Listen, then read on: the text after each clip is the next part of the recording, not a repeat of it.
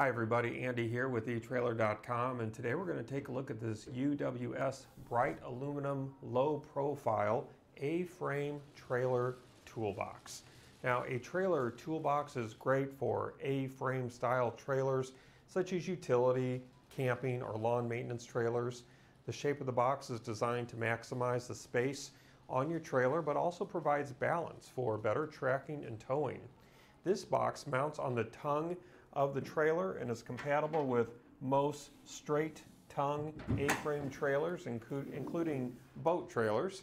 And this box uses a stainless steel paddle lock lift handle for security and corrosion resistant operation.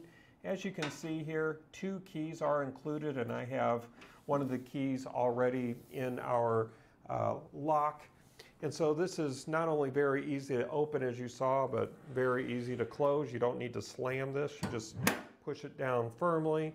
The lid is latched. Then you just turn that key and your box is going to be locked and your cargo is going to be safe and secure.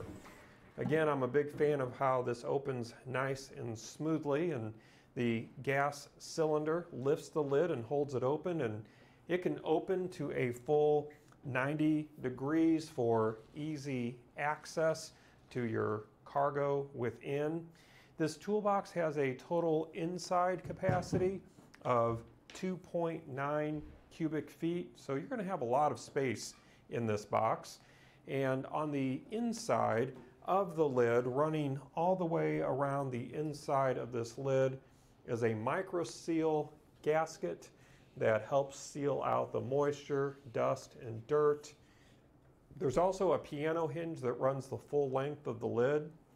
And one of my favorite features of these UWS boxes is that they have a patented foam-filled beveled lid.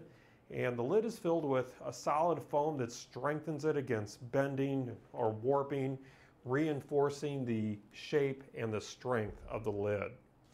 Now this is an aluminum tread plate construction, so it's rust proof, yet very durable. It's going to be able to take quite a bit of punishment. It also features fully welded seams, and this weighs about 19 pounds. In the overall dimensions, looking at the front here first, the length in the front, we're sitting right at about 20 inches. And then the length on the rear of the box, we're sitting right at about 34 inches long. And in regards to the width, measuring diagonally here, we're uh, sitting right at about 16 inches wide and then 13 inches high. You will want to add about one inch of those dimensions to allow clearance for this lid. This does have a limited lifetime warranty but it is very important for me to note that this does not include any kind of mounting hardware. So you would have to pick that up separately and make sure you get the hardware that you need um, that will be able to put this onto your trailer. Well, that's going to conclude our look today. I do hope that it was helpful for you. Again, my name is Andy. Thank you for joining me.